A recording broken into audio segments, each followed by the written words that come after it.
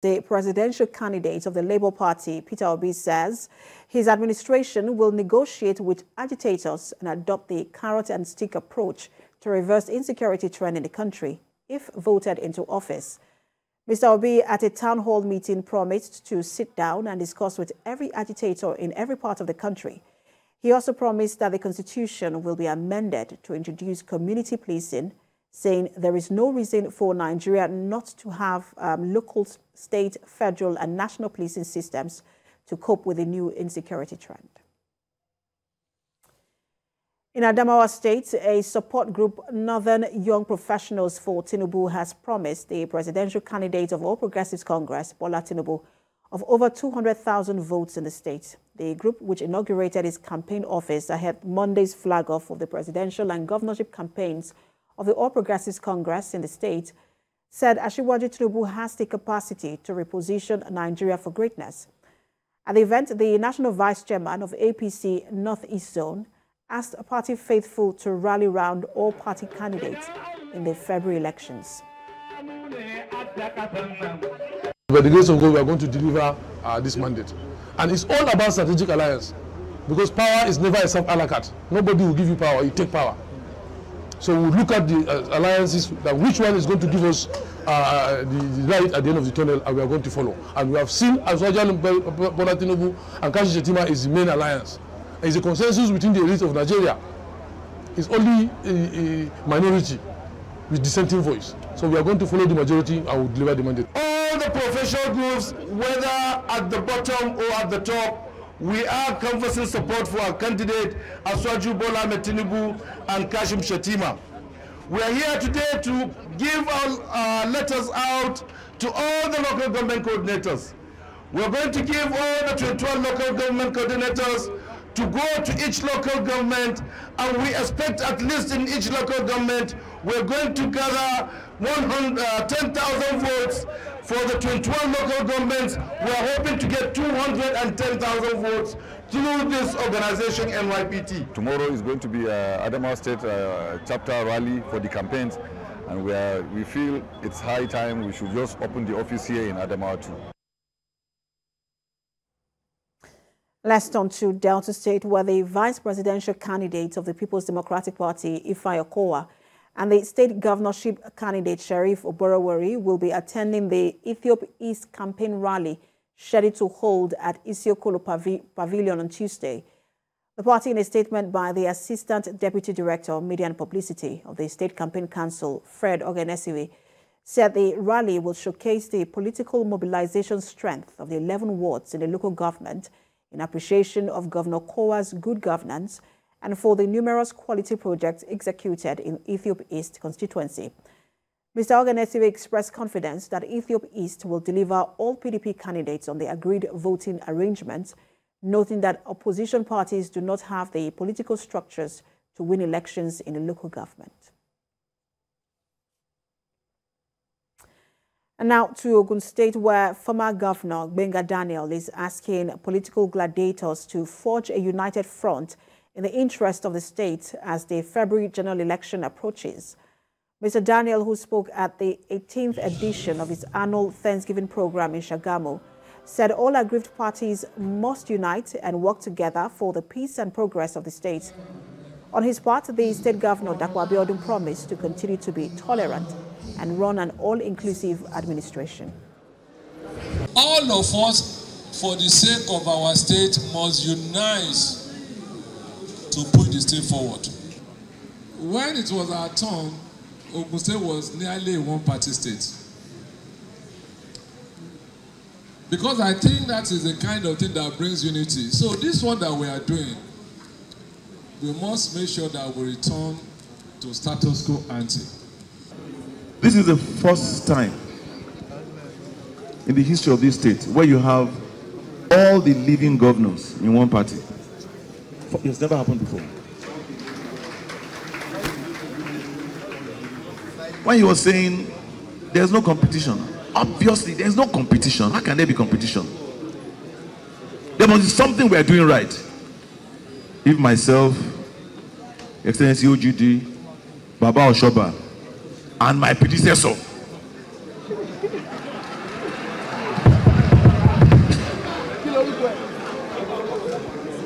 We know those who are with us 100%. OGD, we know those who are with us 50%. And still talking politics, Oyo State Governor Seyi Makinde says his administration will set up the Rural Electrification Board to address power supply in Ibarapa zone of the state. The governor made this known while addressing thousands of supporters at the state campaign flag-off at Igbora. Makinde promised he would ensure Ibarapa people are fully carried along on the Rural Electrification Board, which he said would begin very soon.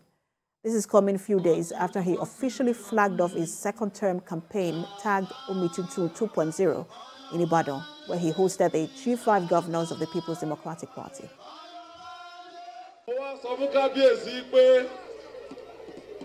within the next one and a half weeks, I set up rural electrification board.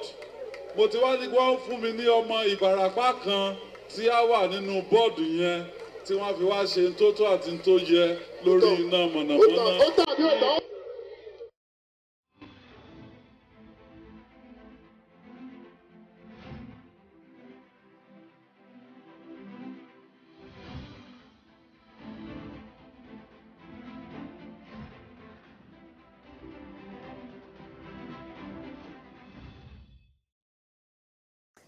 And out to Kwara State, where leader of the State House of Assembly, Abubakar Magaji Olawoyin, died in the early hours of today during a brief illness.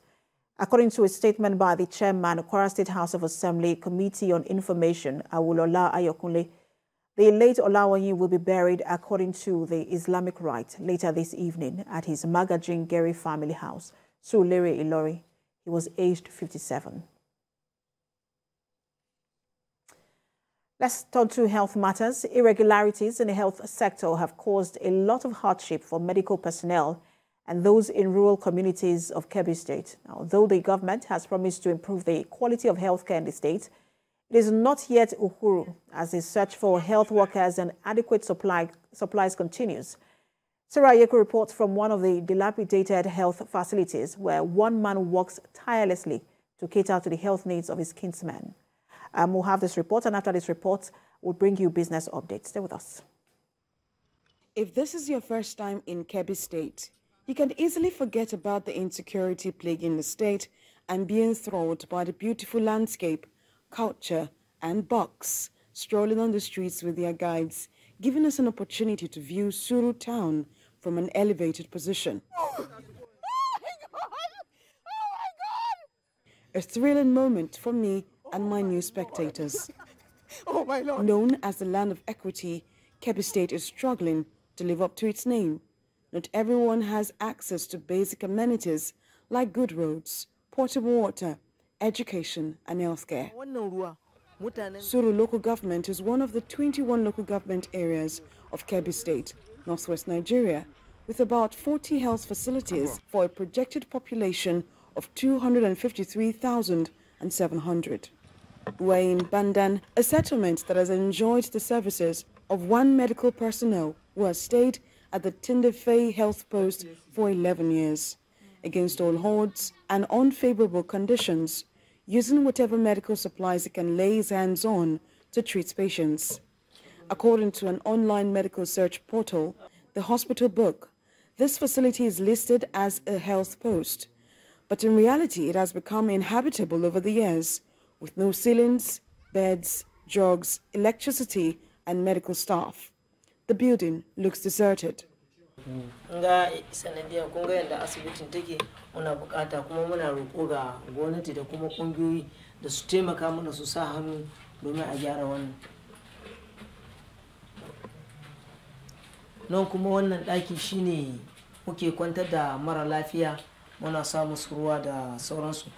wannan gado da ke gani gado ne na karɓar haihuwa. Sanadiyar can ɗakin haihuwa ɗin ya lalace shine muka ciro wannan gado muka dawo da shi nan.